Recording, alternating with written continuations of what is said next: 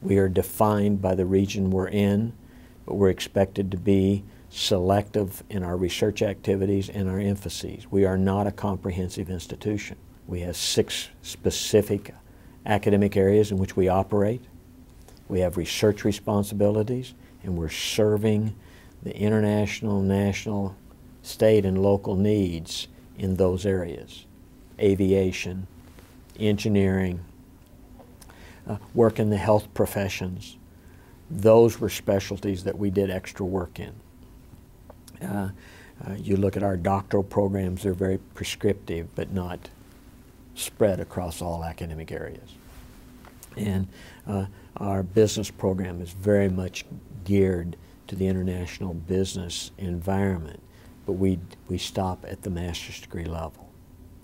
But we do a lot of work with, with businesses and industry in terms of training beyond university experiences. We serve our faculty, uh, we serve our staff, we serve our students, and we serve our community, which includes our alums. And when you look at our accountability matrix in the university, when we ask the question, who do we serve, those are the four groups we serve. Know the mission of your institution. Know what are the expectations for your institution. Be consistent with your board. Know what is expected before you start the process.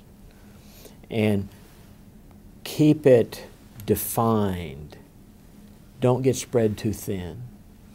And then as you start the process of the people that you ask to be a part of your team, make sure they're consistent with you in terms of understanding of the mission. What is it we're supposed to be doing? And it's just like the business community.